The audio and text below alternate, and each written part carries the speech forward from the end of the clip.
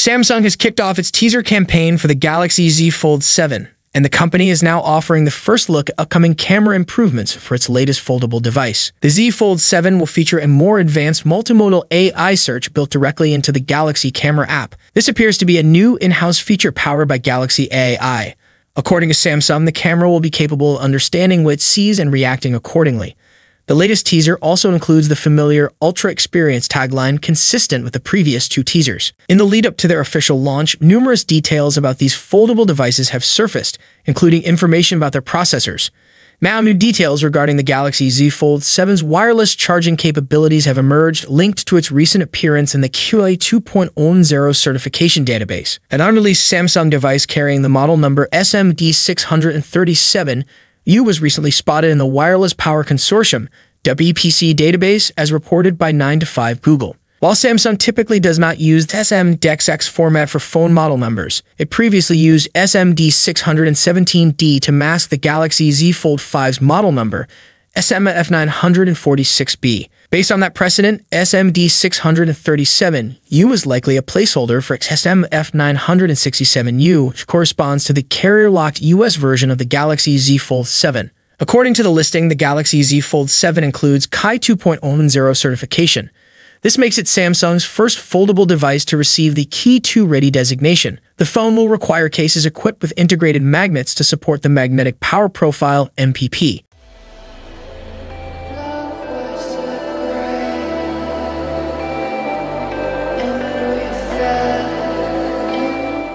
It might not fully match the Ultra name when it comes to specs, but one thing is clear. The Galaxy Z Fold 7 is set to be ultra thin. In its first enticing teaser for the upcoming foldables, Samsung hinted at a Fold 7 with larger cover and main displays. Now, a new teaser shifts focus to the phone's impressively slim design. Numerous leaks and reports suggest that the Fold 7 will be Samsung's thinnest foldable to date. While the exact dimensions haven't been disclosed, the teaser strongly suggests that its design will stand out. It's also expected to be the lightest foldable the company has made so far, which isn't surprising, especially following the Galaxy S25 Edge. Samsung is also promising improved durability and calling the Fold 7 its most advanced foldable yet.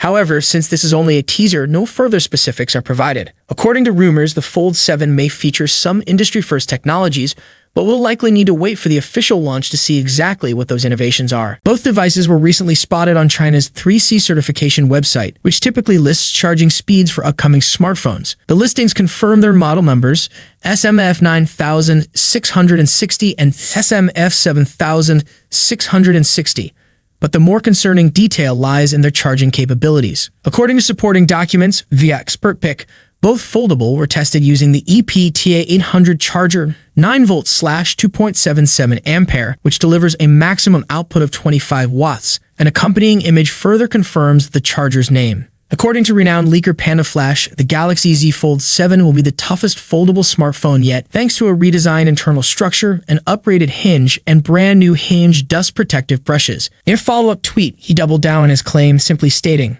confirmed. Samsung is also making a significant leap in display technology. The Galaxy Z Fold 7 will introduce Flex Glass, a latest generation of foldable displays, promising improved durability and flexibility. What about the battery? According to the tipster Anthony, the Galaxy Z Fold 7 will stick with the 4,400 mAh capacity of its predecessor. A boost to around 4,800 mAh would be a welcome upgrade, bringing it closer to competitors and improving battery life. According to reports from Galaxy Club, the Galaxy Z Fold 7 will include a 200 megapixel primary camera, the same sensor found in the Galaxy S25 Ultra, a 12 megapixel ultra-wide camera, a 10 megapixel telephoto sensor, a 10 megapixel selfie camera on the cover screen, an upgraded under display camera, UDC. While the exact resolution of the UDC remains unconfirmed, sources indicate that the sensor will see improvements. For context, the current Galaxy Z Fold 6 has a 50 megapixel primary camera. Since the Galaxy Z Fold 4, Samsung has consistently used a 50 megapixel wide sensor in the Fold series. The jump to 200 megapixel marks a major step forward,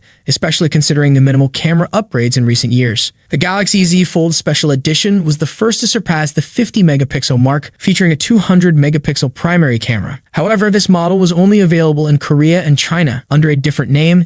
Samsung is expected to unveil the Galaxy Z Fold 7 this summer, likely in July alongside the Galaxy Z Flip 7. Additionally, rumors suggest the company is developing a trifold device anticipated for release in 2025. Samsung may have subtly confirmed these rumors by showcasing a new display designed for its upcoming book-style foldable. At MWC, an unnamed foldable was displayed alongside the Galaxy Z Fold 6. While Samsung never explicitly identified it as the Fold 7, the device appeared to feature the display intended for the next-generation foldable. Although it didn't fully match leaked renders of the Fold 7, it provided a glimpse of what to expect. One of the standout features of this mystery foldable was its nearly creaseless screen. While completely eliminating the crease remains a challenge due to the complexity of foldable designs, the visibility of the crease was significantly reduced, an improvement that matters most. That said, just because this advanced display was showcased at MWC doesn't necessarily mean it's ready for mass production. The team at Android Central, who photographed the device, never had the opportunity to use it, raising questions about its practicality. It would be counterintuitive for Samsung to highlight the Fold 6 visible crease at a major event only to retain the same flaw in its successor. Leaked renders indicate that the Z Fold 7 will adopt a wider form factor and a significantly slimmer profile in the Fold 6. While it may not set new records for thinness or completely erase the crease, it will at least embrace a more modern design. The details shared by trusted insider OnLeaks with Android headlines suggest a significant design evolution. Samsung seems to be drawing inspiration from ultra-thin foldables like the Oppo Find N5.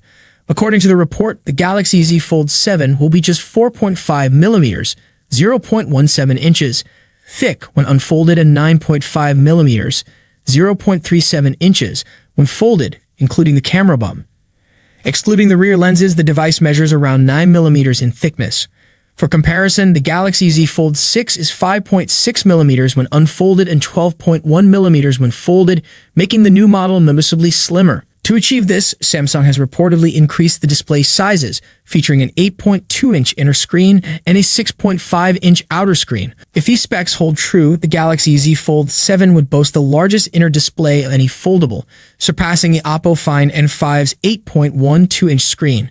However, despite its sleek design, Oppo's foldable remains the thinnest book-style foldable, measuring 4.2 millimeters when unfolded. According to a reliable source, Samsung is revamping the stylus, making it thicker than the one designed for the Galaxy Z Fold 6. Despite the increase in size, the updated S Pen is expected to deliver a much better writing experience thanks to improved pen tips. Meanwhile, Oppo's Find N5 has been widely praised for its slim design, making it noticeably thinner than the Galaxy Z Fold 6.